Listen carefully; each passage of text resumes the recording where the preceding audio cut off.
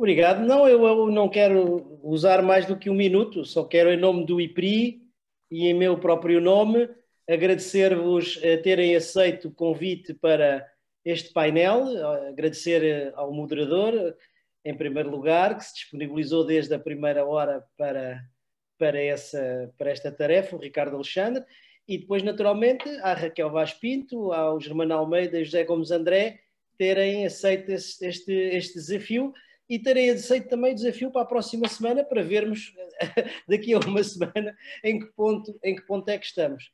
Agradeço também à Isabel, que foi a alma desta, desta iniciativa, e ao Rodrigo, que nos possibilitou tecnicamente isto, e dou-vos já, já, a palavra ao, ao, ao, Ricardo para lançar o debate. Muito obrigado. Obrigado, professor Nuno Vou ouvir-vos com toda a atenção. Boa tarde, muito obrigado, professor Nuno Severiano Teixeira. Boa tarde a todos. É um prazer estar com, com o IPRI e para mais um webinar sobre as eleições nos Estados Unidos. E, como já como já afirmei no outro fórum, não, é, não será certamente muito difícil treinar uma equipa de craques, portanto temos aqui uh, Raquel Vaz Pinto, José Gomes André, Germana Almeida, e, e, é com eles que vamos, uh, que vamos partilhar algumas reflexões e algumas ideias sobre este momento crucial relativamente às eleições dos Estados Unidos de amanhã e ao que se pode seguir às eleições, que vai certamente ser tão ou mais importante do que possa acontecer especificamente no dia de amanhã. Queria só, antes de, antes de começar a dar a palavra a, a cada um dos três, uh, e isto vai, o modelo vai ser, cada um deles vai falar uh, durante alguns minutos, estamos a apontar para 10 minutos, não precisam gastar o tempo todo, se entender a não gastar todo. Depois eu lançarei uma outra questão e, e, e abro espaço para, para as perguntas que certamente terão para fazer e que podem chegar via, via chat do, do, do Zoom e, e tratarei de as, de as colocar a quem direito ou aos, ou aos três em conjunto. Queria só uh, dar conta de, de, alguns dos últimos, uh, dos últimos dados neste, neste dia em que, por exemplo, o ex-presidente Barack Obama está a fazer campanha por Joe Biden num, num estado uh, crucial, que se tornou crucial para estas eleições. A Geórgia vai ser um dos, um dos pontos quentes da, da, da atenção uh, nas eleições de amanhã e queria dar-vos também conta de algumas uh, sondagens, uh, das últimas sondagens que foram surgindo, nomeadamente sondagens do, do Rasmussen Reports, que normalmente tem, acaba por trazer dados que aparecem tendencialmente mais favoráveis ao Presidente Trump, ou pelo menos não tão favoráveis a Joe Biden. E o Rasmussen Reports diz-nos que, em termos de eleição geral, há uma vantagem de um ponto percentual para Biden, 48-47. Diz-nos que na Pensilvânia um, eh, há uma vantagem de 3 pontos para Biden, 50-47. Uh, continua, continua a apresentar como positivo a atuação, o desempenho, a performance do presidente Trump, 52 contra 48. Depois há, há outras sondagens uh, na Pensilvânia em que o Rasmussen Reports dá uh, Biden com uma vantagem de 3 pontos, mas a Monmouth, a sondagem da Monmouth dá 7 pontos percentuais de vantagem ao candidato democrata. Uh, algumas sondagens, estas são as sondagens de hoje, segunda-feira, sondagens de ontem, uh, eu destacaria duas uh, relativamente à Flórida, a do New York Times dá uma vantagem de 3 pontos a Joe Biden e a da ABC do Washington Post que dá uma vantagem de 2 pontos a Donald Trump, o que quer dizer que está tudo em aberto na Flórida. Há outras duas sondagens, uma do St. Pete Polls que dá a Biden com mais um ponto e a do Susquehanna, eh, este instituto, que dá uma vantagem de um ponto percentual a Donald Trump. Portanto, há Há, em relação à Flórida, valores uh, para todos os gostos, eh, digamos assim. Depois, na Carolina do Norte, vantagem de Donald Trump nos, em duas das três sondagens divulgadas ontem, uma com quatro pontos de vantagem, outra com dois. Há uma terceira do, do Emerson, do grupo Emerson, que dá um empate 47-47 e, é mais, e é mais ou menos assim que, que temos que temos o, o, estado das contas, do que é possível dizer de contas nesta altura. Começava então pelo Manuel Almeida para nos, para nos dizer o que, é que, o que é que espera que possa acontecer amanhã, tendo em conta estes dados e o evoluir da campanha até esta altura. Germano. Obrigado Ricardo, obrigado ao IPRI por este convite, é um prazer, professor Sofrente Teixeira, Isabel, Rodrigo, Viva Raquel, Zé André, eh, companheiros de, de outras uh, situações como esta, estava há pouco a recordar, há quatro anos, precisamente nesta altura, na véspera da eleição de 2016, estivemos na altura num seminário em conjunto, na altura não era, não era webinar, não estávamos em pandemia, uh, e havia uma ideia mais ou menos geral que Hillary tinha a eleição assegurada, o Zé Gomes André, prudente e conhecedor, conhecedor profundo como é da política americana, disse não me surpreendia que viesse também a acontecer uma vitória de Donald Trump, estava certo e nós estávamos errados.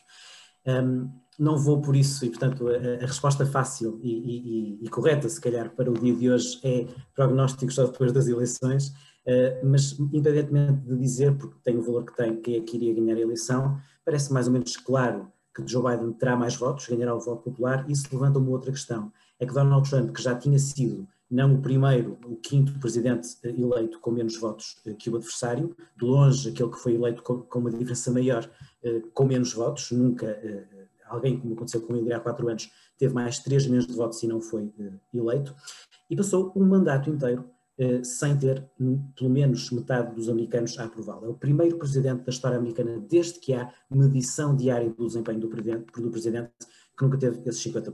Chega à tentativa de reeleição em sérias dificuldades. É certo que ainda que pode ganhar, não é provável, mas é possível.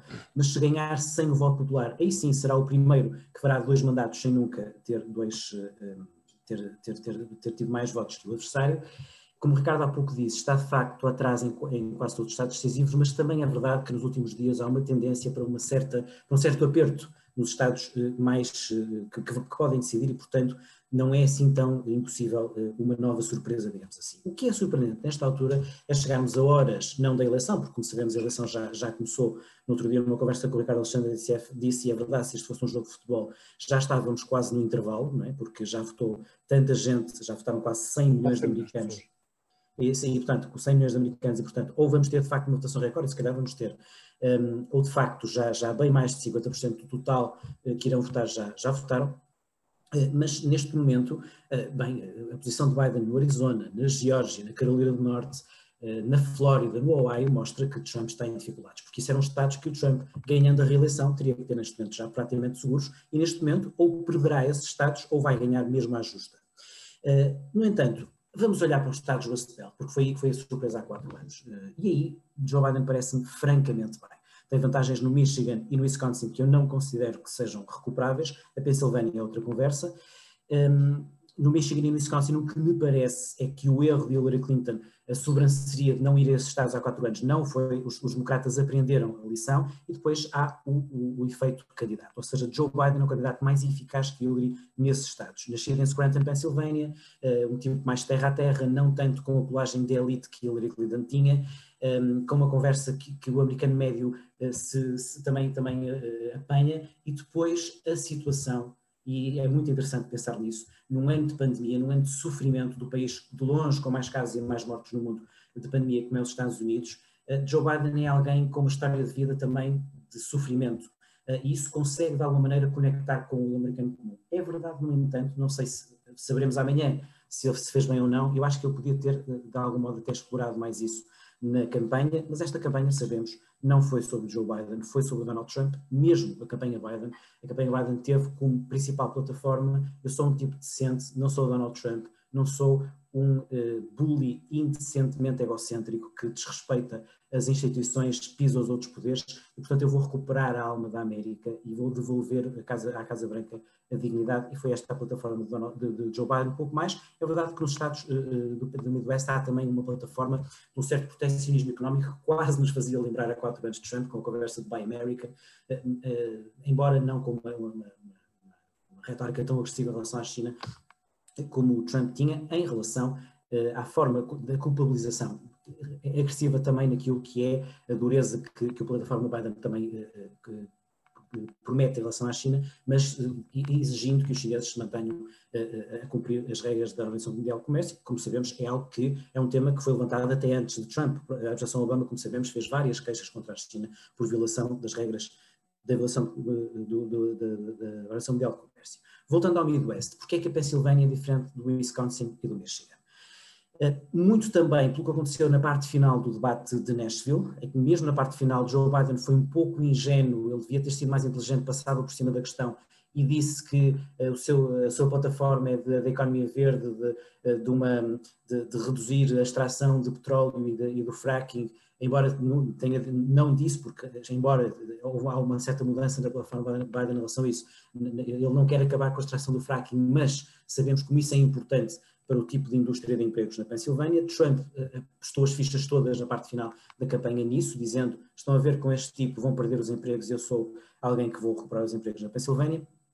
E há uma ligeira recuperação de Trump na Pensilvânia. A diferença na Pensilvânia, dependendo, dependendo do, das, das, das sondagens, está nos 4, 5, 6, 7 pontos a favor de Biden. Nas sondagens dos institutos que nós achamos que são mais credíveis, embora na verdade nesses estados há quatro anos falharam, eh, nas sondagens com uma amostra que muitos acham enviesada a favor de Trump, como a Trafalgar Square, ehm, também a, Insider Advantage, uh, uh, Trump parece aparecer aí com algumas hipóteses de ganhar. E, neste momento é um pouco isto que acontece, ou seja, ou de facto Donald Trump segura, ao contrário do que as sondagens dizem, todos os estados, estamos a falar de Flórida, Ohio, Carolina do Norte, Arizona e Geórgia, esses cinco não me admirava olhando para, para, para, a rota que Biden possa ganhar dois ou três, e se ganhar dois ou três é presidente, mas vamos imaginar que Trump segura esses cinco, bom, então tem que fazer o million dollar eh, move, que é ganhar a Pensilvânia, não é nada provável, mas ainda é possível. Porquê é que 2020 não é 2016? Mesmo que amanhã volte a acontecer uma surpresa e ganhe Trump. Mesmo assim, 2020 não é 2016, pensamos um bocadinho. Porquê? Porque em primeiro lugar, em 2016, Trump era o tipo que vinha de fora uh, e uh, queria arrasar, arrebentar com o establishment, a elite, os políticos. Não pode ser assim, não é? Trump é presidente há quatro anos. E, portanto, é difícil manter exatamente essa conversa. É verdade que assistimos, de uma forma quase com perplexidade, nos comícios um, àquele povo fanático por Trump, em que ele diz coisas como disse há uns dias, eu chamei ignóbil, e é ignóbil o que ele disse há uns dias, eh, dizendo que os médicos nos hospitais americanos ganham dinheiro por dizer que, eh, por atribuir uma morte uh, por Covid, e, assim, e assim explica os 230 mil mortos por Covid nos Estados Unidos, isso é ignóbil, não há outro termo, portanto eu acho que um Presidente dos Estados Unidos não pode passar em colo uma coisa dessas numa eleição, a menos que os americanos queiram, e portanto há uma parte do eleitorado que, que acha isso tranquilo, mas eu acho que o eleitorado tranquilo, normal, que não esteja completamente polarizado entre, entre Trump ou não Trump, entre republicano ou democrata, via isto e esse eleitorado ou passou pelo Covid, seja por ter tido a doença, seja por ter tido um, um parente próximo que morreu, ou nos cuidados intensivos, ou por perder o emprego, eu acho difícil que isso não tenha eh, uma, uma, uma, uma penalização por parte de, do eleitorado. E é isso que as sondagens mostram. Trump perdeu uh, o apoio nas mulheres brancas suburbanas, perdeu o apoio nos mais idosos e perdeu o apoio no eleitorado suburbano, não só mulheres. Esses três segmentos foram fundamentais para as vitórias, uh, nomeadamente nesses estados, nesses três estados do Midwest, onde agora, estava, onde agora está atrás e onde bateu Hillary Clinton por muito pouco. Uh, e esse é o, outro ponto que muitas vezes eu creio que, que, nos esquecemos. A eleição não é a mesma há quatro anos. Os três estados, Pensilvânia, Wisconsin e Michigan, estão diferentes em relação a quatro anos. Tem, eh, tenho aqui estes dados, portanto, no caso da Pensilvânia, na Pensilvânia há, dentro de 2016 a 2020, menos 431 mil pessoas com, com o tipo de segmento que, que apoiou Trump. Estamos a falar de brancos pouco qualificados. Na Flórida há menos 359 mil. Ao contrário, na Flórida há mais um milhão e meio de brancos com estudos superiores e minorias, liderado Biden, e mais quase meio milhão na Pensilvânia. Só aí, só, só nessa diferença, que é muito maior que a diferença entre Trump e Hillary, Biden praticamente, entre aspas, já ganhou esses estados. Claro que depois pode haver outro tipo de variações e tem a ver com a mobilização, como é óbvio, eh, e, e curiosamente, tanto na Pensilvânia como na Flórida, o early vote, que no geral parece muito eh, animador para os democratas, nesses dois casos, o early vote presencial parece estar a ser animador para Trump. Depois, um, um minuto Sim, então, então se calhar passava agora a palavra e depois continuava o resto. Até já, Ricardo. Obrigado. Muito bem. Seguimos, André. Boa tarde a todos. Uh, naturalmente, palavras de agradecimento ao IPRI, na, na pessoa do professor Nuno Severiano Teixeira, também Isabel. Muito obrigado pelo convite. É um prazer participar com o IPRI. De facto, reproduzindo o encontro de há quatro anos uh, e por isso também saúdo uh, pelo reencontro Germano, Raquel Vaz Pinto e neste caso também o Ricardo Alexandre e uh, saúdo toda a audiência, muito obrigado pelo vosso interesse e atenção. É verdade que eu há quatro anos fui relativamente prudente, recordo-me que até uns dias antes escrevi um artigo chamado A Vitória de Trump, que me valeu algum hate mail, penso que as pessoas por vezes confundem o que é uma tentativa de análise de determinadas probabilidades ou de cenários com hum, a manifestação de preferências e claramente não é esse o meu, o meu caminho nem o meu interesse. Uh, aquilo que eu há quatro anos senti era que Trump tinha mais hipóteses do que se estava a, a identificar. Uh, penso que este ano, uh, se calhar já de um modo geral, este cenário de que só, como, como dizia um pouco a Raquel numa outra conversa, eh, só, só vendo é que de facto acreditamos e, portanto, há uma maior desconfiança das sondagens, porque repare-se, neste momento estas sondagens fossem ao contrário, fossem favoráveis a Trump, se calhar nesta altura realmente ninguém tinha dúvidas de que ele iria ser reeleito.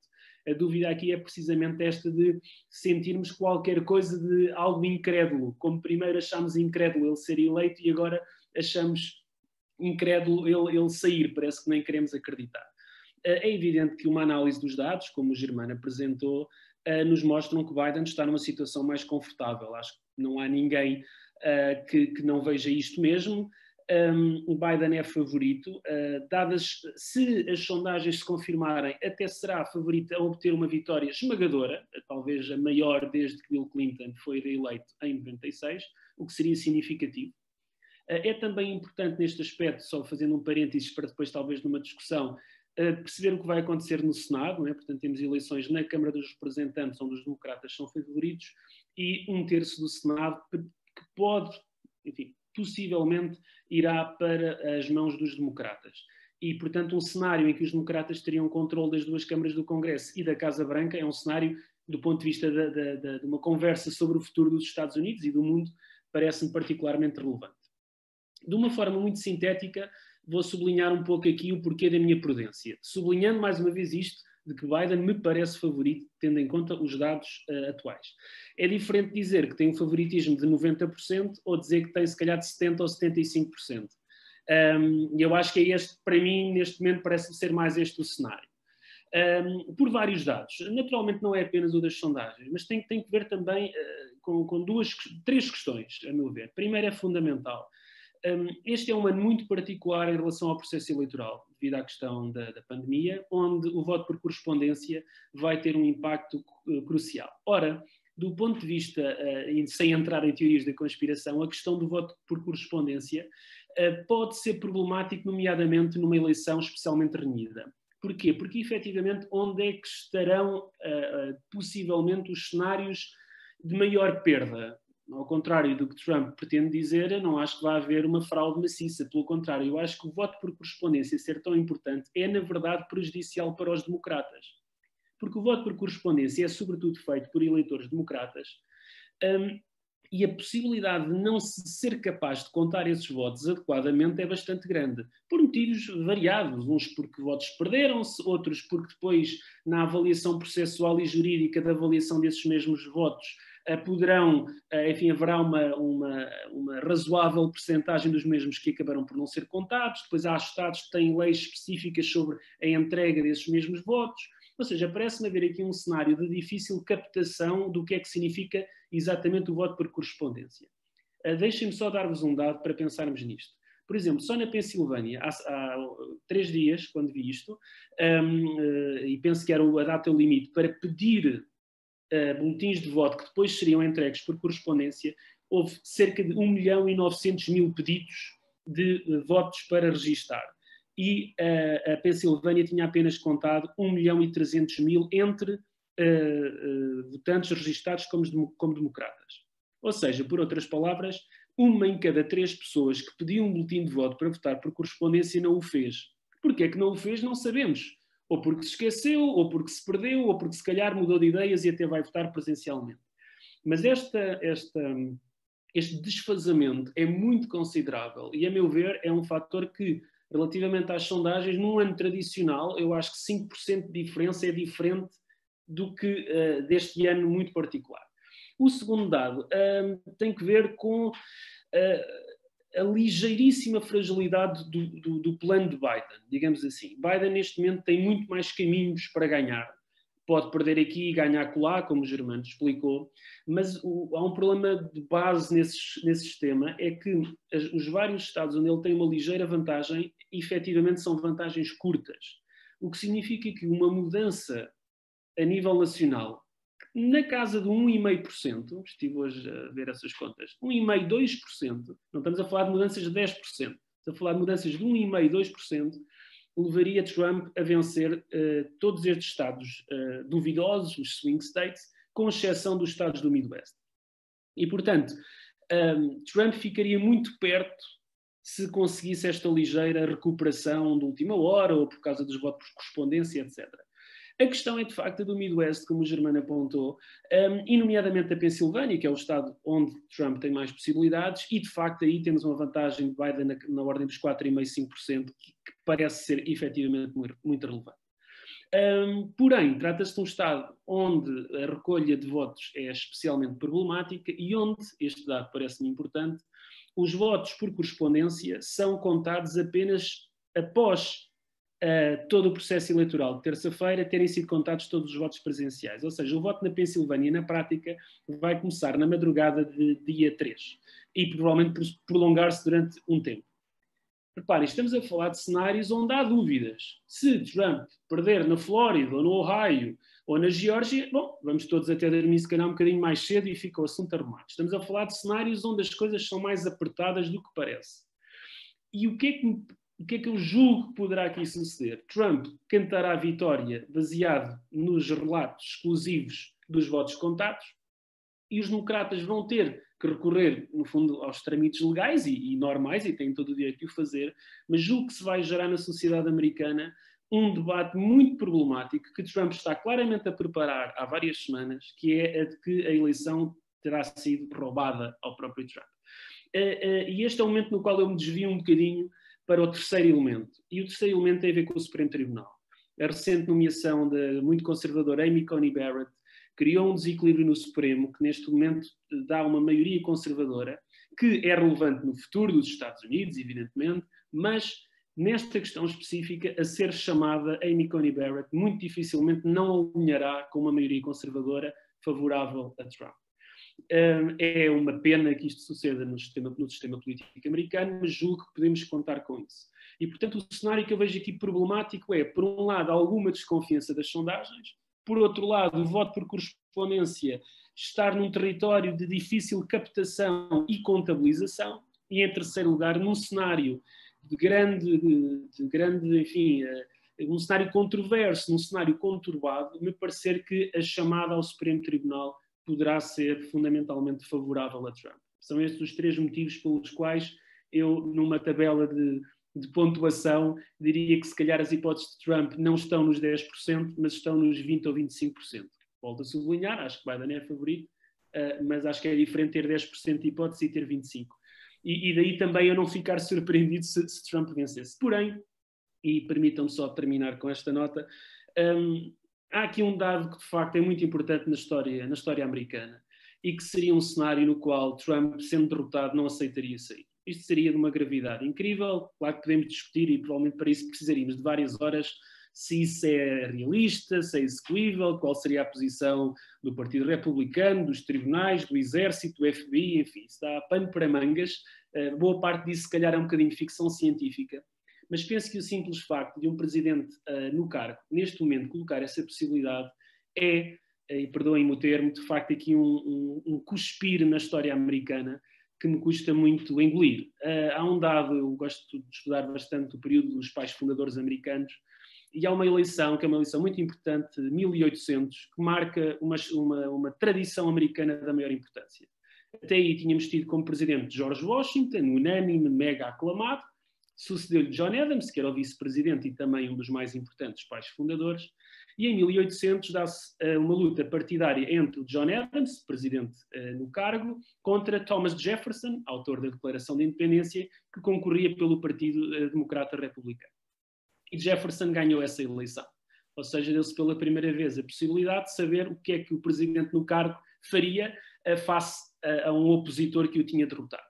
E os assessores do John Adams, que era presidente derrotado, disseram-lhe precisamente: tens o exército ao teu lado, és o commander-in-chief, não aceites estes resultados. E John Adams disse: não, eu não posso fazer isso porque honrar a história americana e os valores da democracia é saber sair mesmo estando no poder.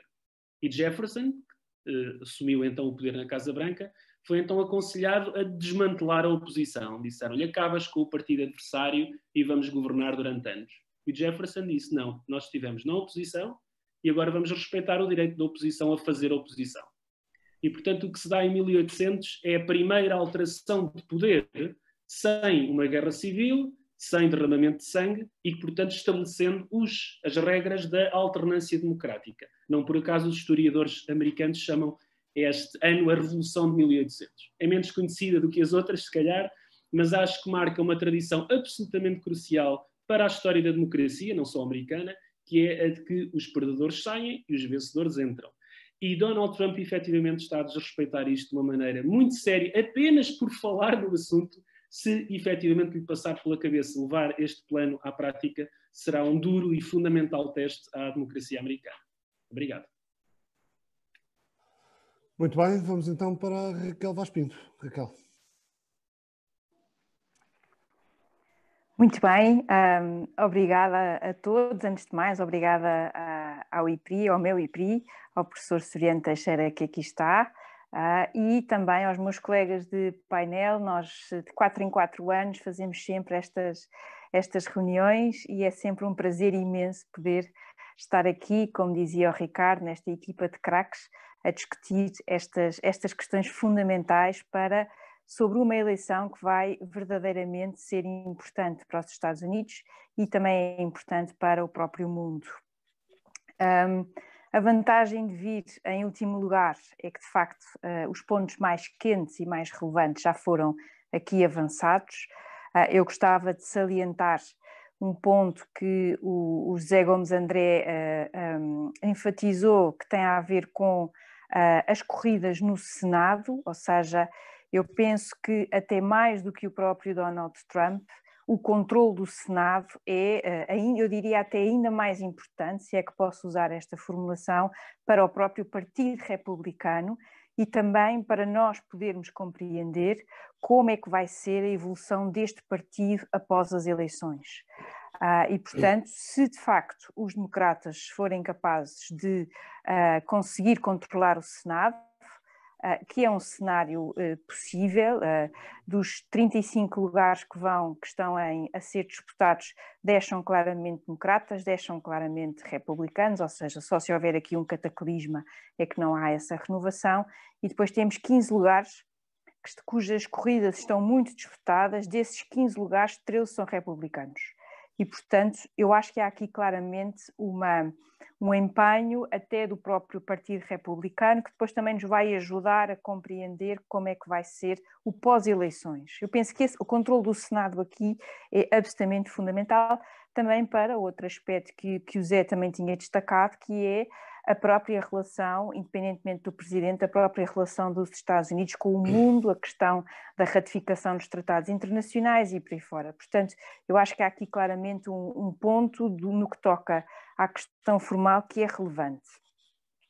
O, o Germano trouxe-nos este, este dia a dia e trouxe-nos, sobretudo, esta a relevância de um Estado como a Pensilvânia, que é de facto um bom barómetro destas duas Américas, cidades cosmopolitas, mexidas, extraordinárias, grandes, como Pittsburgh e Filadélfia, e depois temos um, um interior mais rural, mais republicano, e em si mesmo este é um Estado, também pela questão processual da contagem dos votos uh, votos antecipados, contagem que só será feita depois, uh, quando terminar o voto presencial, que vai estar aqui, obviamente, uh, no centro das nossas atenções. Portanto, estes seriam dois pontos que eu gostaria aqui de enfatizar, que os meus colegas já aqui trouxeram. Ainda assim, gostava de trazer um grupo que me parece um grupo, aliás, 2016, de certa forma, uh, trouxe-nos aqui ou obrigou-nos a questionar sobre a forma como agrupamos algumas, uh, algumas partes do eleitorado. E aqui parece-me que há um eleitorado uh, que se começou a mexer e que tem tido um papel, eu acho interessante, que é o grupo dos cristãos que não se reconhecem nos, nos, nestes eleitores de Trump, ou seja, aqueles, os grupos cristãos que não se revêem uh, quer uh, na forma, quer no estilo, mas sobretudo no conteúdo de Donald Trump e que se têm vindo a demarcar. Eu penso que talvez um dos pontos mais relevantes do debate entre os vice-presidentes foi justamente quando uh, Mike Pence tentou retirar a Kamala Harris e ao Partido Democrata, tentou retirar a questão religiosa, ou seja, tentou monopolizar a questão religiosa ou a questão das crenças de cada um, não é? As crenças religiosas, e, e Kamala Harris respondeu-lhe muito bem, dizendo que ela também ia à missa e que, um, e que uh, Joe Biden, católico, a ser eleito, será o segundo presidente católico dos Estados Unidos, depois de Kennedy, uh, que também ia à missa. Portanto, Uh, eu acho que muitas vezes nós caracterizamos o grupo cristão como se ele fosse homogéneo, como se ele fosse uh, extremamente coeso, quando é, tal como os outros grupos que nós temos visto nesta eleição, extremamente heterogéneo entre si. Uh, e, portanto, uh, há claramente um bloco evangélico, um bloco muito poderoso, um bloco que se mexe muito bem e que tem, obviamente, aqui, aliás, até pelo tipo de registro nos mídia uh, os chamados os alt-right, não é? Toda essa relação profunda, mas também há um outro grupo de cristãos para quem é inconcebível, mesmo tendo em conta as posições a nível do que nós chamaríamos aqui as questões fraturantes, mesmo tendo em conta essas posições, consideram inconcebível votar numa pessoa como Donald Trump, cujo caráter é, eh, é, é é, como dizer isto de maneira suave, eh, é um caráter dúbio. Vá lá, vamos ser, vamos ser simpáticos. Portanto, eu acho que este grupo, uh, e nós vemos isso seja no Twitter, seja em muitas ações publicitárias, nós vemos como este grupo se começou a mexer. Ou seja, tal como nós temos os Never Trumpers, ou seja, aqueles republicanos que desde uh, 2016 que se recusaram a estar ao lado de Donald Trump, também temos. Um, também temos este grupo, e este grupo a mim parece muito interessante. Uh, de todos os grupos cristãos, vá lá, o católico é aquele que está aqui talvez mais uh, dividido. Há um grupo católico que claramente está com Trump e há um grande grupo católico que claramente está com Biden. Ou seja, é, eu acho que é aqui um dado interessante uh, porque também nos ajuda muitas vezes a combater um certo estereótipo que nós temos, porque na verdade é sempre difícil um, olhar para este país imenso, com mais de 300 milhões de habitantes, uh, e, portanto, a própria dificuldade da análise, que é a nível federal, depois quer a nível de cada Estado, que é um ecossistema em si mesmo, uh, mas que depois também nos traz esta maior dificuldade na leitura daqueles que podem ou não ser os, os, grupos que, eh, que, vão ajudar ou que vão definir esta própria, esta própria uh, eleição. Por último, gostava de destacar talvez um, a situação das mulheres uh, republicanas que votaram em Trump em 2016 e que me parece que, tendo em conta algumas das, alguns dos estudos feitos, que estão uh, claramente insatisfeitas com, com este presidente. E, portanto, aqui também me parece um fator, um fator relevante e interessante uh, e, e, que eu acho que nós temos depois que uh, ver com, com maior detalhe na própria, na própria relação com, um, com as eleições. Por último, também gostava de salientar um aspecto que eu penso que todos nós temos destacado nestes nossos comentários, que é um, esta, esta o brincar com coisas sérias, ou seja, a forma como Trump, há cerca de um ano, tem vindo a soltar esta narrativa de eleições eh, fraudulentas ou eleições que podem não ser justas, que podem não ser uh, que podem não ser corretas, que podem, que podem estar de certa forma viciadas uh, e que ao qual nós temos também que adicionar um ponto que a mim me preocupa muito, que é obviamente a relação tácita, se não mesmo explícita, entre toda esta narrativa e uh, uh, as milícias, ou quase milícias, uh, de supremacia branca, grupos muito organizados, muito hierárquicos, os Proud Boys, que aliás foram citados no primeiro debate entre Biden e Trump, num país onde um, o acesso às armas e, sobretudo, o acesso a armas de cariz militar uh, não é difícil. E, portanto, eu penso que é esta combinação entre o acesso às armas, que é uma característica, aliás, uh, de boa parte dos Estados norte-americanos, também não são todos, mas na verdade temos aqui esta questão com Uh, o próprio discurso de Donald Trump e, e uh, houve momentos, vou confessar, houve momentos ao longo desta campanha em que, em que, senti, em que sentimos que, que, que, que estávamos a ver talvez um país diferente. Uh, quando, por exemplo, há uma tentativa de derrubar a governadora do Michigan, uh, com, uh, ou seja, nós assistimos a coisas durante esta campanha que não podem de ser. Raptar. Sim, obrigada, Ricardo. Tentativa de raptar uma espécie de golpe de Estado, passa a repetição estadual, ou seja, a nível do Estado do Michigan. Um, e assistimos a toda uma série de uh, momentos que, se nós pensarmos seriamente sobre o que é que eles significam, uh, talvez pensaríamos que estávamos a olhar para um outro país que não propriamente uh, os Estados Unidos da América, no sentido do seu peso, no sentido do impacto que este Estado tem a nível internacional. a própria história dos Estados Unidos tem momentos, aliás, ao longo de todo o século, bastante singulares, não é? Este é o país onde, nós, onde, onde eh, nos anos 50, o senador Joe McCarthy esteve à solta a tentar caçar bruxas comunistas em toda a sua estrutura. Ou seja, há muitos episódios e há muitos momentos ao longo da história deste país e, portanto, nós também temos aqui uh, vários estados dentro destes Estados Unidos da América, mas não me parece de todo que estes episódios, que estes momentos devam ser uh, lidos ou devam ser analisados de forma leve, pelo contrário, uh, parece-me, e esse é talvez o aspecto que a mim mais me preocupa, até porque o próprio Donald Trump decidiu que vai ver a noite eleitoral, acho eu, na Casa Branca. E, portanto, há toda aqui mais uma quebra de, mais um elemento de tradição interessante, mas que também nos mostra como uh, nada é uh, o mesmo nestas, nestas eleições. Muito bem, obrigado Raquel. Eh, eu teria muitas perguntas para vos fazer, mas acho não, melhor, não vou fazer nenhuma. Vou dizer o que é que gostaria de perguntar a cada um muito rapidamente e pedia que não respondessem, pedia que, que respondessem no meio das respostas que, que darão às perguntas que, que, os, que os assistentes ao painel estão a, estão a colocar via chat e se entenderem que, que algumas das questões que eu possa colocar possam entrar aí, uh, uh, agradeço, mas, não, mas vamos tentar poupar, poupar minutos para, para dar voz às pessoas.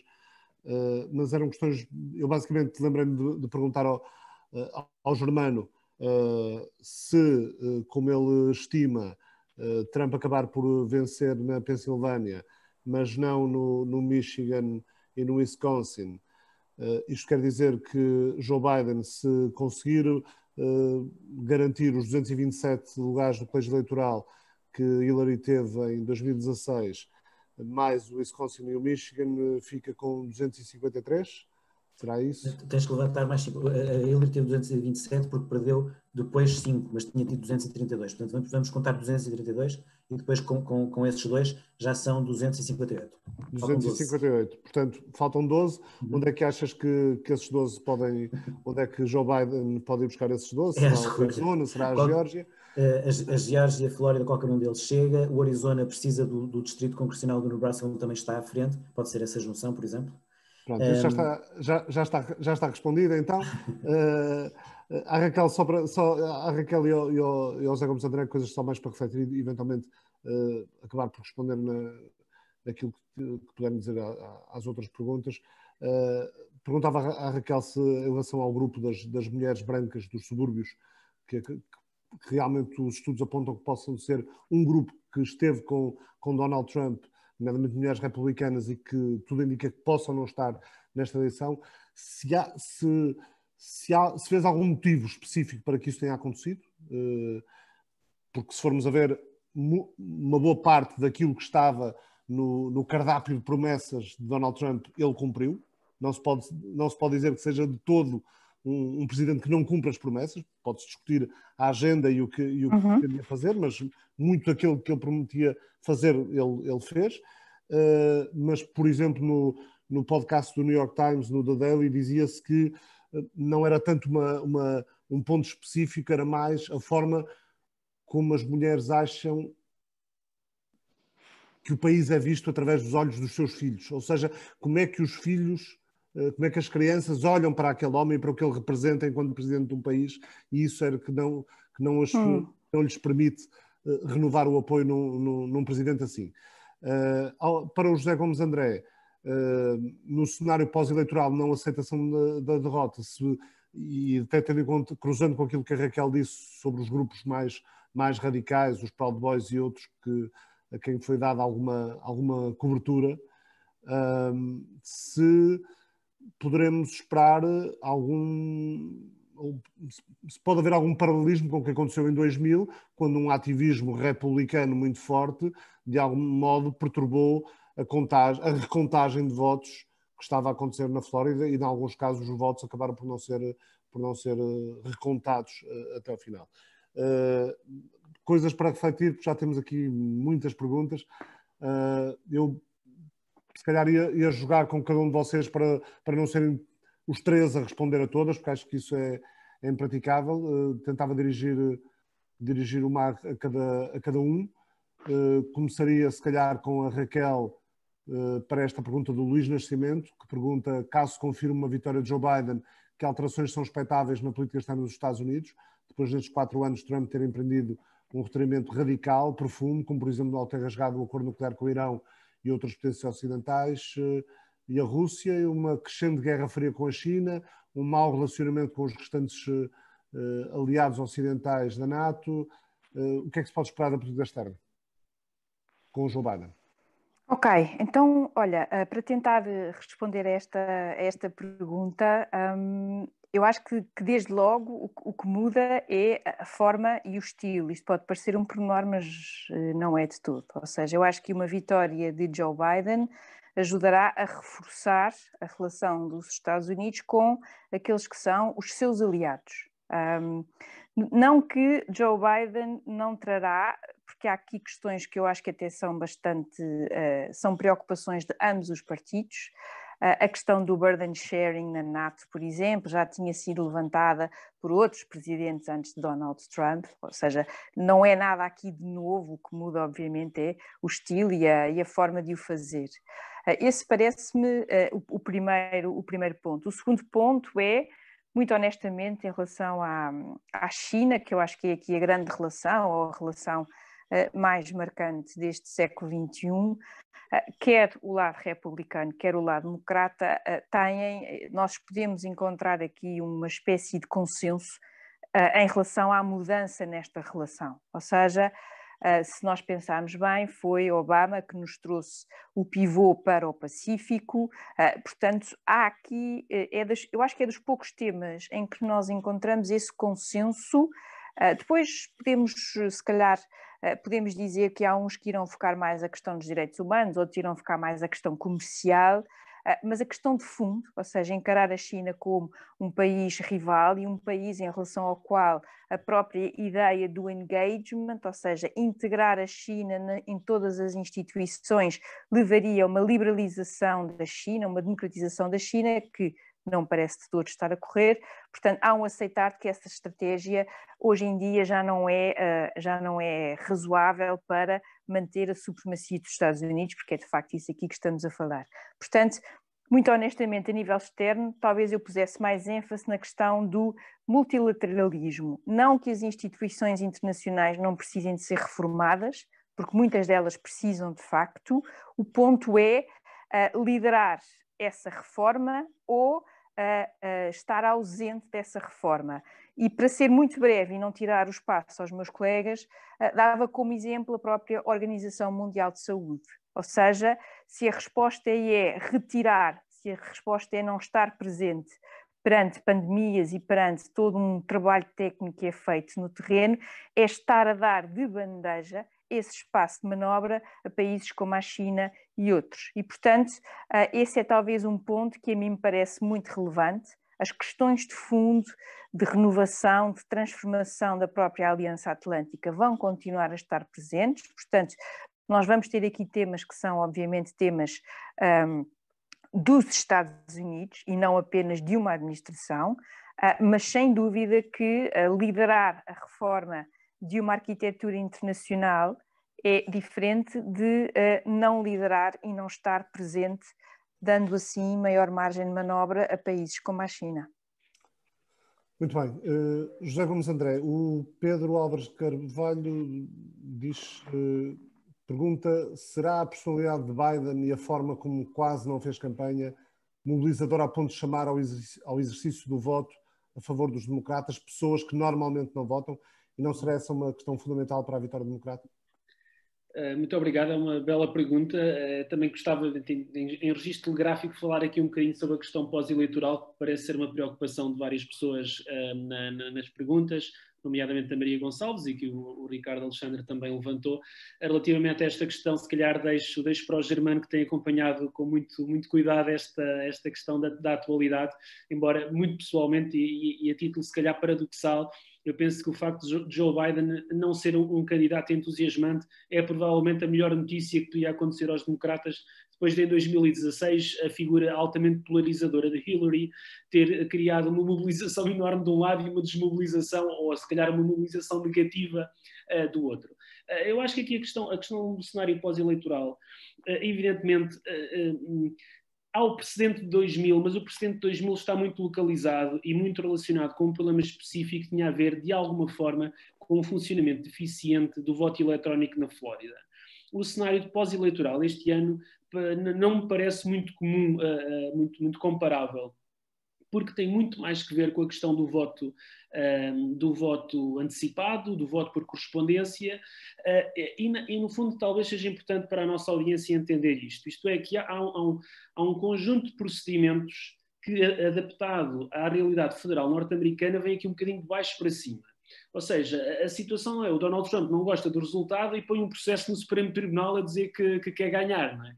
Eh, eh, as coisas começam desde logo no facto da Constituição prescrever que a organização das eleições cabe aos Estados. O que significa que cada Estado tem um processo eleitoral distinto, hora de fecho das urnas, tipo de votação, correspondência, antecipado, uh, eletrónico, presencial, etc e a própria forma de contagem dos votos varia consoante os Estados, o que significa que, por sua vez, a discussão sobre o, o sistema pós-eleitoral depende de, de onde é que estamos a falar. Depende de quem é que tem o controle político, por exemplo, das Assembleias Estaduais. Depende, desde logo, dos Supremos Tribunais Estaduais, ou seja, antes de, de, de haver uma decisão, eventualmente ao mais alto nível, os Tribunais Estaduais irão pronunciar-se acerca de muitas matérias e também para não hostilizarmos Trump a um nível uh, estratosférico, uh, o, o, Partido Republicano e Donald Trump têm o direito de legalmente pôr em causa determinadas situações, se entender que efetivamente elas merecem uh, atenção. Não é simplesmente dizer que há fraude, isso não vale nada, não é? agora, dizer, por exemplo, perceber que o voto por correspondência, a quem é que corresponde, quando é que foi entre, entregue, se cumpriu as datas estipuladas pelos Estados, já me parece uma questão eh, legítima, perfeitamente legítima. A questão fundamental, a meu ver, e isto não é querer fugir à resposta, é, é, é sinceramente o que o meu senso comum se calhar me diz, tem muito a ver com o discurso público que o Presidente terá nas 48 horas seguintes à eleição, caso haja uma dúvida. Porque, repare, os votos vão acabar por ser contados os tribunais serão chamados forem chamados. E, evidentemente, se Trump perder legitimamente, alguém o há de ir buscar à Casa Branca. Não sei se o FBI ou a Melania, alguém o vai buscar. Agora, a questão é os efeitos que um discurso público, e perdoem-me o termo, de uh, índole terrorista teria nas 48 horas subsequentes à eleição. Isto é, se Trump reclamar vitória, disser que a contagem não pode continuar porque isto é uma fraude escandalosa, eu ganhei e, meus caros amigos que estão na rua, que são meus apoiantes, saiam à rua para me apoiar. Isto é uma hipótese real.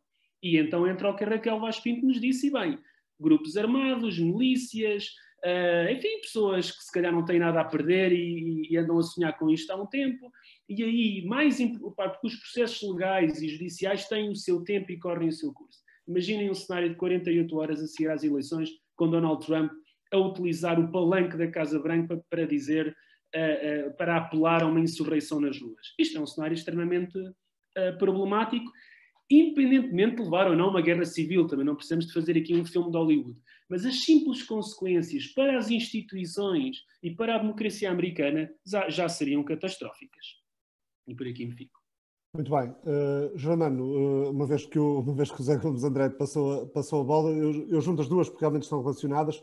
O, a pergunta do Pedro Alves Carvalho, que começava por, por lembrar a base de apoio do, do, do, Donald Trump, caracterizado por uma forte componente emocional, e se por outro lado eh, Biden com a sua campanha uh, pouco mobilizadora, ou com a, a, forma como quase não fez campanha, se pode ser mobilizadora a ponto de chamar ao exercício do voto uh, as pessoas que normalmente não votam. O João Abrantes pergunta precisamente se, se, se consideram que os ainda indecisos podem estar a ponderar a decisão entre votar Biden numa perspectiva de curto prazo com o combate à pandemia e para punir a atual administração uh, pela, pela, gestão do combate à pandemia, ou votar Trump numa, numa perspectiva a longo prazo, a pensar mais na recuperação económica, sendo que a economia uh, poderá pesar nesta balança? Bom, eu acho que os indecisos neste momento não estão indecisos entre votar Biden e votar Trump. Estão indecisos entre votar Biden ou não ir votar, ou votar, ou votar Trump ou não ir votar. A polarização é de tal modo que é no global, essencialmente assim. Claro que, vai, claro que num, num, cenário de milhões de pessoas, algumas estarão indecisas entre Trump e Biden, mas não me parece é, seja essa a dúvida. A grande questão, eu, o estranho que isto possa parecer, estou ao mesmo tempo muito preocupado, mas francamente otimista em relação ao que vai acontecer. Muito preocupado porque não me parece sequer que haja uma dúvida. Eu acho que praticamente certo que vai haver confusão, na perspectiva em que os dados, do, os sinais dos últimos dias de Donald Trump já não são uma dúvida. Ele já está a dizer que não vai aceitar uma derrota que não, e que já está a minar o processo eleitoral, ao dizer disparados como uh, acharam no Rio votos atirados ao Rio de ballots, uh, votos por correspondência, uh, coisas desse estilo. E, portanto, o único cenário de Trump não lançar a confusão e não, e não lançar a coisa irresponsável, ainda por cima sendo presidente e não apenas candidato, de dizer junto ao seu povo fomos roubados quando não estão a ser, é que perca, portanto, se, se perder Flórida, Geórgia, Arizona, Carolina do Norte, um, e depois os três do Midwest, aí sim que já não seja tão relevante assim uma recontagem ou esperar pelos votos por correspondência uh, em estados como a Pensilvânia. Se a vitória depender da recontagem na Pensilvânia, esperem o pior nos próximos dias, por uma coisa muito rápida que, que se estive a falar há uns dias com o Ricardo e que vale a pena, é pena não, não poder mostrar aqui o gráfico, mas digo rapidamente. A, a previsão 538 do Nate Silva para a Pensilvânia é esta. 6,8 milhões de votos no Estado, 3,6 para o Biden, 3,2 para o Trump, ou seja, o Biden ganhar por 400 mil votos. Isso em porcentagem será 52,5, 47,5 mais ou menos, dentro do que estão a dizer, 5 pontos de avanço ao Biden, e portanto parece uma coisa relativamente clara, não é? Bom, essa, essa previsão prevê que no dia da eleição o Trump ganhe na Pensilvânia por 16 pontos, 58-42 e que só dois ou três dias depois o Biden passa à frente. Isso num gráfico dá perfeitamente para ver, o Trump no dia da eleição está um milhão de votos à frente na Pensilvânia, coisa assim, e dois ou três dias depois o Biden passa com 400 mil votos de vantagem. Ora, se, Pensil, se esperarmos pela Pensilvânia em 2020, como esperámos há 20 anos pela Flórida, temam o pior.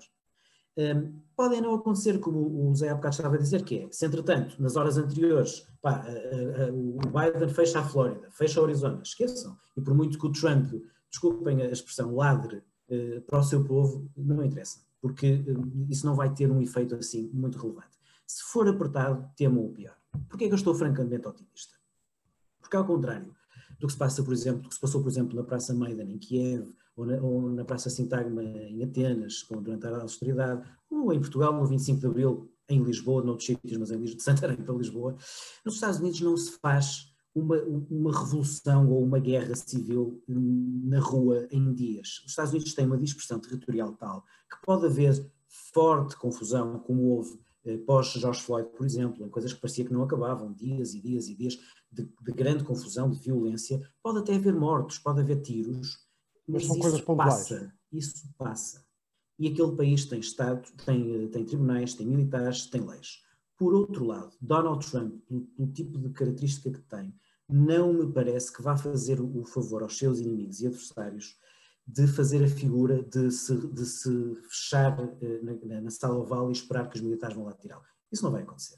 E, portanto, Donald Trump acredito muito mais num cenário de vitimização que já está a fazer. Atenção ao Supremo. Eu, eu não estou assim tão pessimista em relação ao Supremo.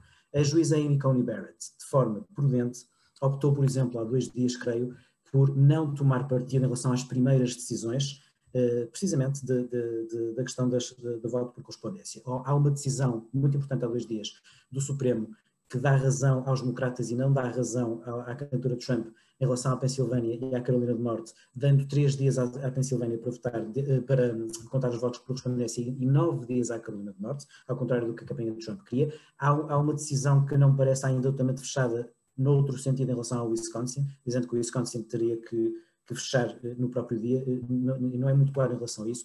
Dito isto, o que é que eu acho? Acho que o cenário mais provável, pode até acontecer numa grande vitória Biden, que, que não haja nada disto, e em poucas horas isto resolve, não é provável. O cenário mais provável é de uma vitória mais curta do Biden, que haja grande confusão, eh, perturbação nas ruas nos, nos, dias a seguir e depois as coisas se definam. Um, depois, eu acho que nós sobrevalorizamos a ameaça das milícias. É uma coisa grave, complicada, existente, mas não é uma coisa prevalente. O americano médio quer uma vida tranquila, quer, quer ter um, um emprego, quer ter, uma, quer ter boa convivência com os vizinhos. E, portanto, coisas como os Proud Boys, como os Boogaloo, existem, têm muito mais vocalidade do, eh, nas redes do que propriamente eh, eh, existência real dominante na sociedade.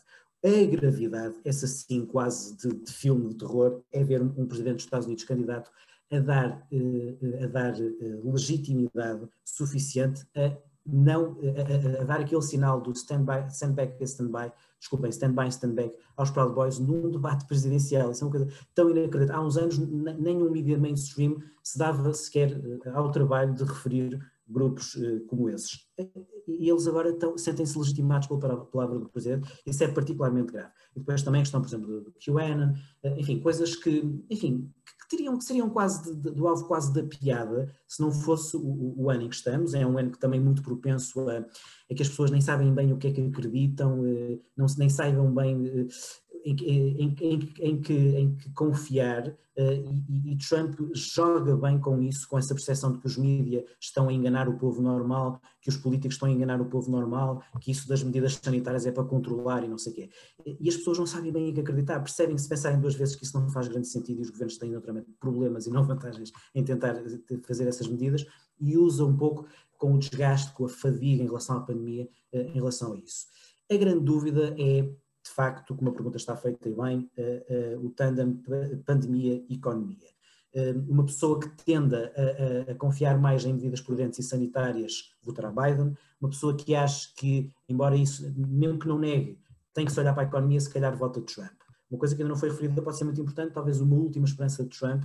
Eu acho que, que Trump tinha praticamente perdido a eleição há uma semana e agora, de alguma maneira, tem uma pequena esperança, uma em 10, duas em 10, mas é uma esperança, existe foram os dados naturalmente económicos do terceiro trimestre, com, com uma recuperação espetacular de 33%, que praticamente resolve uh, o, que, o, buraco de 30 e tal por cento que se perdeu no, no, trimestre anterior. Isso, pelo menos, é um sinal de que com Trump uh, havia alguma hipótese de continuar essa recuperação, e, e, e, é um pouco por aí.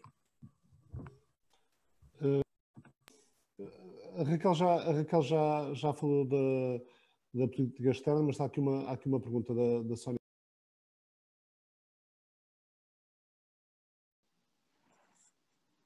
Peço desculpa, peço desculpa, tinha o microfone desligado.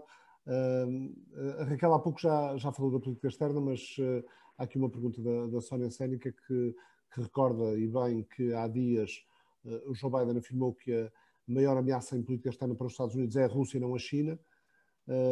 e o que é que que é que este dado pode, pode influir na, na linha estratégica política externa de cada um dos, dos candidatos em caso de vitória? Obrigada, Sónia. Ficaria espantada que a tua pergunta não fosse sobre a Rússia. um, bem, um, eu acho que, em primeiro lugar, temos de ter em conta aqui que uh, estamos numa campanha presidencial e, portanto, uh, a questão da Rússia e colocar a Rússia como a, a grande ameaça ou o grande desafio, se quiserem, também tem muito aqui a ver com a própria questão presidencial, ou seja, com a própria campanha. Não só a Rússia nos levanta a questão dos ataques cibernéticos, a questão das fraudes eleitorais, há toda aqui uma, uma lógica que também é interessante, mas muito honestamente eu tendo a interpretar esse comentário mais no sentido uh, de olhar para o que é a própria campanha e a dinâmica eleitoral, porque em relação à China há muitas questões sensíveis que têm que ser pesadas. De outra maneira, a relação com a China verdadeiramente uh, tem um peso interno nos Estados Unidos, económico, comercial, uh, que afeta muitos e afeta claramente aqui algumas das bases eleitorais, e portanto essa relação vai ter que ser gerida com pinças. Aliás, Joe Biden também disse, penso que não sei se, se já foi hoje ou se foi ontem, que uh, ouviria os aliados na relação, na questão de reavaliar uh, ou de olhar para a relação com a China. Muito honestamente, Sónia, não me leves a mal, mas penso que aqui há, sobretudo, uma, um distanciamento de Biden em relação a uma das grandes críticas que tem sido feita a Donald Trump, que é de uma grande proximidade a líderes como Vladimir Putin, proximidade também no sentido do estilo e da forma de estar, do que muito sinceramente a questão concreta de fundo. A China é, pela, pelo facto de ser a segunda maior economia do mundo, o segundo maior orçamento de defesa do mundo, e eu podia estar aqui até às oito da noite, mas não vou estar, ah, é claramente o grande desafio para os Estados Unidos e para o mundo ah, ah, em relação a este século XXI. Portanto, eu, eu veria esse tipo de declarações com, um, com alguma uh, uh, prudência mais no sentido da campanha eleitoral do que concretamente tendo em conta o equilíbrio de forças ou o desequilíbrio de forças entre, entre esses dois países. A Rússia é um grande desafio, sem dúvida, uh, para a Europa, para a própria NATO, para toda uma série de questões regionais e algumas internacionais, mas não é um rival sistémico como a China. José Gomes André, se amanhã uh, Joe Biden uh, vencer, uh, Donald Trump terá sido derrotado como, como Biden diz, because he is what he is, ou porque, ou porque houve a pandemia? E se não fosse a pandemia, amanhã era mais ou menos um passeio? É uma excelente pergunta, Ricardo. Eh, eu diria que antes da pandemia Trump tinha até algum favoritismo e, sobretudo, tinha mais hipóteses. Quer dizer, acho que isso é indiscutível. O estado da economia era bastante favorável. Um, embora tenha havido sempre aqui um dado bastante problemático para, para Trump. E nesse aspecto eu diria que esta forma como ele geriu estes quatro anos surpreendeu-me, do ponto de vista eleitoral, quero eu dizer que é o facto de ele dificilmente ter e nunca ter apostado em expandir a sua base de apoio. É uma coisa que todos os presidentes fazem, uma vez eleito, mesmo, mesmo que ganhem por pouco, é de alguma maneira procurar manter junto de si os seus apoiantes e falar um pouco para outros. Porque repare, também havia muita gente que há quatro anos não terá votado em Trump porque receavam o que é que seria Trump, e se calhar nesta altura, bom, diria, olha, isto afinal não foi assim tão catastrófico, passaram quatro anos, o mundo não, não, não acabou, Uh, mas dá-me a impressão que Trump nem sequer falou propriamente para essas pessoas, o seu esforço foi pura e simplesmente manter a sua base. Uh, enfim, não há estudos sobre isso ainda, mas um dia haverá, sobre se realmente há alguém nos Estados Unidos que, não tendo votado em Trump há quatro anos, o vai fazer desta vez. E, mas tenho a certeza absoluta que esse número existir, deve haver alguém, não é? Vai ser um número uh, francamente baixo. E isto parece um erro de estratégia de alguém que foi eleito uh, por uma minoria, apesar de tudo, da população americana no que diz respeito ao voto popular.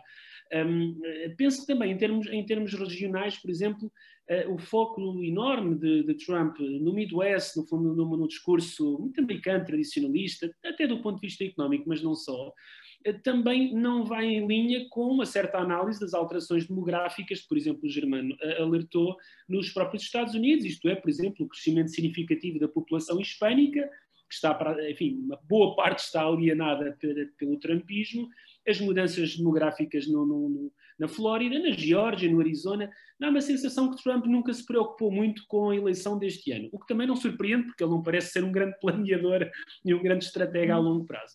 Agora, a verdade é que, e ainda não falei sobre isto, já falei noutras ocasiões, mas gostava de terminar um pouco dizendo isto. É? Eh, o fenómeno da, da bipolarização e da polarização nos Estados Unidos é tão radical e já tem tantos anos, e, que no fundo gerou também a existência de dois blocos muito fixos.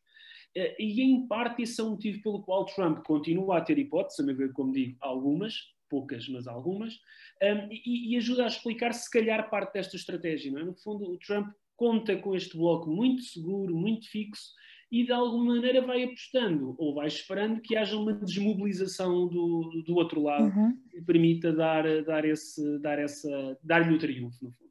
Um, mas, mas, penso, claro, que obviamente a pandemia e, e, tudo o que ela representou reforçou, sobretudo, e com isto termino, uh, uma certa ideia de inépcia de, diretiva e uma capacidade, nomeadamente, de falar verdade, que eu acho que foi um ponto muito grave uh, no uhum. comportamento de Trump durante estes meses. João Manuel Almeida, arriscas falar já um bocadinho do que, do como poderá ser um governo de Joe Biden? Sim, uh, essa é uma questão interessante. Deixa-me deixa só eh, tirar algumas, uh, algumas pistas para a mesa. O Al Hunt, no, no, no site da Hill, ele fez, foi editor executivo da, da, Bloomberg News, passou pelo Wall Street Journal, ao antecipar uma, uma vitória de Joe Biden, já, já é daqueles que faz um, um, desenho do que pode ser uma futura administração, diz que será muito diverso, terá papéis importantes para Bernie Sanders e Elizabeth Warren, dá, dá o nome de Susan Rice para o Departamento de Estado, ela que foi Conselheira Nacional de Segurança de, de, Barack Obama, mas diz que a opção também pode recair uh, em pessoas que já estão no Departamento de Estado como, como adjuntos ou como vice, caso dos, dos irmãos Burns, Bill e Nick Burns. Uh, um papel de destaque também para o senador do Delaware, Chris Coons, próximo de Biden, um dos, um dos homens mais experientes e conhecedores no, no Senado, uh, e também ao mesmo tempo alguém que é capaz de levar a cabo boas relações com, a, com, com, o outro lado, a tal, a tal importância de superar as clivagens e fazer pontos para, para o lado republicano. Uh, fala na, em uh, Michel Flournoy, Flournoy uh, que foi uh, subsecretário de Estado no Pentágono na primeira administração Obama para a defesa. poderá ser por aqui o que é que se pode esperar de uma, de uma administração Biden? Eu, eu vejo aqui, se isto tiver o mínimo de, de, de, probabilidade de concretização, vejo aqui alguma, algum regresso a, a, peças importantes da administração Obama. Portanto, há uma continuidade com o que, foi, com, com que foram os governos Obama. Eh, sim, só uma coisa muito rápida antes de responder essa pergunta que é bem interessante. Uh, só recordo uma coisa: é, é de facto uh, voz comum dizer que o Trump se perder será só por causa da pandemia. Eu acho que realmente, se, se, sem a pandemia, ele tinha boas hipóteses de ser reeleito, porque realmente estaríamos num momento económico possivelmente bastante positivo. Mas quem, quem tinha interesse nisso, eu convido a ver as sondagens uh, uh, por final de fevereiro, início de março. Trump estava atrás de Biden portanto, não é verdade que Trump, sem a pandemia, não, uh, já tinha a coisa garantida. só uma outra coisa que eu acho que é um dado muito interessante para percebermos a diferença entre voto por correspondência e voto presencial. Neste momento, dos dados que os Estados disponibilizam, alguns Estados não disponibilizam esses dados, mas os Estados que disponibilizam esses dados, os, os, democratas, uh, eleitores registados democratas, não quer dizer que seja voto Biden, mas olhando para, para a fixação entre Biden democrata, Trump republicano, que as sondagens mostram será muito perto disso, haverá cerca de 45% de voto democrata, 25% de voto republicano e depois o resto de votos de filiação não, partidária, em que isto está mais inverso, sabendo que as exit polls neste momento mostram que o Biden tem uma vantagem dos independentes de cerca de 60-30. Uh, eh, no entanto, no voto presencial, que sabemos que também existe, é, só para termos uma ideia, dos 90 e tal milhões de votos já existentes, 30 milhões são presenciais, 60 e tal milhões são por correspondência. No voto presencial, uh, uh, os republicanos têm uma vantagem de 42-37. Respondendo então à sua pergunta, uh, eu acho que uma administração Biden será o reflexo do que foi esta campanha, ou seja, uma grande tenda entre de onde ela partiu, do centro moderado institucional, portanto, a herança Obama, algo mal Willie, mas, mas mais Obama, com eh, a pacificação que Biden tentou, não completa, mas vamos ver se eficaz eleitoralmente, veremos isso amanhã, com a ala esquerda do Partido Democrata, e para isso é fundamental que ele tenha uma relação pessoal com Bernie Sanders melhor do que havia, que não era nenhuma, entre Hillary e Sanders, e com Elizabeth Warren. E, portanto, eu acho que seria, não tenho total certeza, mas seria um sinal enorme se, por exemplo, Elizabeth Warren fosse secretária do Tesouro, não acredito. Acho que isso era praticamente comprometer com um tipo de agenda que não é a de, a de, a de, a de Joe Biden, Calafrios em Wall Street. Exatamente. Acredito mais em Lyle Brainerd, que, que a Economist ontem aponta como possível futura secretária do Tesouro, uma, uma, uma pessoa da, da, Reserva Federal, perfeitamente já mais uh, a dar mais uh, garantias aos mercados, exatamente. No entanto, há vários sinais políticos que podem ser dados. Sim, Susan Rice é uma fortíssima candidata a secretária de Estado, ela, foi, ela seria, digamos, a número dois como hipótese para vice-presidente se não fosse Kamala Harris. Kamala Harris ganhou a corrida pela, pelo, pelo, peso político maior que tem e também isso é um ponto importante, perceber que Kamala Harris poderá vir a ser uma vice-presidente muito importante. Porquê? Porque se calhar nunca houve uma vice-presidente tão próxima de chegar à presidência como Kamala será. Um pouco também a relação, veremos, de Joe Biden, se ele, ele acabou por não dizer completamente, mas poderá vir a dizer pouco depois de tomar posse, se calhar este é, é, é um só mandato, e portanto, e, e naturalmente que Kamala Harris é a candidata natural dos democratas em 2024, veremos, será sempre uma questão, se Joe Biden, no entanto, se mostrar, como se mostrou já agora, fez uma campanha bem melhor nesse aspecto do que se, do que se esperava, uh, bem fisicamente e mentalmente e animicamente, bom, se ele se mantiver assim, uh, quando fizer 79, 80, 81 anos no final do mandato, como é que será a questão da, da reeleição ou não, se há, vai haver uma questão se, se o candidato vai ser Biden ou Kamala. Uh, se não for, eu, eu, eu gostava também de Tony Blinken, que é o principal um, conselheiro de relações externas da campanha Biden, uh, tinha sido alguém importante também na administração Obama, uh, será eventualmente o conselheiro, o de Segurança Nacional, já é uma espécie de Conselheiro de Segurança Nacional sombra de Biden também, e depois, se Biden der uma de Obama, e eu acho que vai dar, naturalmente que vai também uh, eleger, vai indicar algum republicano para um posto importante. Eu recordo que Obama manteve Robert Gates como secretário da Defesa, que era o secretário da Defesa de Bush nos últimos dois anos de Bush, e pôs também Chuck Hagel, outro republicano, que era um senador importante republicano na administração. E Biden pode ter, naturalmente, pode escolher alguém como John Casey, alguém com grande peso político, recordo que foi uh, o único a ganhar uh, a Donald Trump uma primária importante há quatro anos, no Ohio, uh, e portanto pode haver esse sinal, portanto apostava no governo Biden eh, com um ponto da ala esquerda, não dando se calhar nada a Elizabeth Warren ou Bernie Sanders, mas alguém dessa ala, por exemplo, dando um sinal, por exemplo, pondo Alexandre Ocasio-Cortez com, com um posto qualquer. Ah, e falta-me outra coisa, que é dar um ponto, dar um ponto, a Raquel não concordou, ainda bem, dar um ponto, um, eh, e isto parece muito importante para o futuro da, da, do Partido Democrata, que foi importante. Uh, Joe Biden só é o candidato porque aconteceu algo de brutal e inesperado na noite da Carolina do Sul, quando, uh, com, com uh, o desfile de existências, não é? Primeiro Pete Buttigieg, depois Amy Klobuchar, já tinha sido Beto O'Rourke, e em um ou dois dias uh, Bernie Sanders viu, viu, viu o tapete tirado porque toda a ala mais moderada apoiou o Joe Biden, naturalmente que isso terá também o seu reflexo nas escolhas da administração. Uh, a Raquel dizia que não a, a Alexandra Ocasio-Cortez, porquê? Olha, porque eu acho que dentro desse setor mais Uh, como é que mais à esquerda, estas, estas, este tipo de caracterização, uh, olhando para o que é a realidade americana, é sempre complicado de fazer. Claro. Mas olhando para essa ala dentro do Partido Democrata, uh, Ocasio-Cortez tem uma, parece-me a mim, uma percepção extremamente polarizadora do outro lado. De toda maneira, um, eu penso que Joe Biden, sem dúvida, como o Germano aqui, o Germano aliás já nos fez aqui um imenso trabalho de casa, porque já nos deu aqui várias pistas de governo possível, caso Biden seja eleito, uh, mas parece-me que ao mesmo tempo, até pelo próprio temperamento de Joe Biden, eu parece-me que ele tentará figuras que sejam eu não digo menos polarizadoras possíveis, porque para muita gente o próprio Bernie Sanders já é bastante polarizador, Uh, mas Ocasio-Cortez, sinceramente, não me parece, acho que é talvez um pouco demais no que toca mesmo àquela forma de, à, à própria polarização, e ela própria gosta dessa, dessa relação com a, a própria agenda, agenda mediática. Eu confesso de todos os nomes, só mesmo para terminar, aquela que eu mais uh, gostaria de ver, caso Biden fosse eleito, é mesmo uh, esta, a Secretária de Estado da Defesa, que tem sido, este nome, a Michelle, tem sido apontada em, em, vários, é uma pessoa competentíssima, extraordinária e seria interessante ver uma mulher à frente como secretária, secretária da Defesa, não é? Portanto, eu acho que isso era, era não só era a competência junta com uh, imenso talento e liderança. Isso para mim é aqui um lugar que eu gostava muito de ver como é que correria.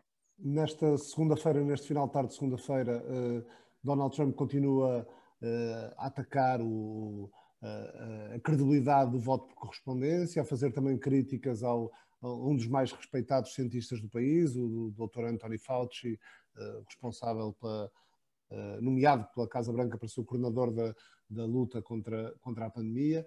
Uh, não vos vou pedir prognóstico geral, nós estamos, estamos no fim. Pedi apenas uma coisa e apenas numa frase ou numa palavra, se conseguissem dar a, cada um, e é, é, é muito rápido. Uma surpresa que antecipem para amanhã à noite. O que é que pode ser surpreendente amanhã à noite? Biden ganhar o Texas. Biden ganhar o Texas, João Almeida. Raquel. Olha, eu, eu, eu, tinha, eu pensaria nessa do Texas, mas uh, o Germano já avançou. Ah, tens que me deixar, tens que me deixar. Uh, pergunta ao Zé primeiro. Zé Gomes André. Donald Trump perder, reconhecer a derrota e congratular o adversário.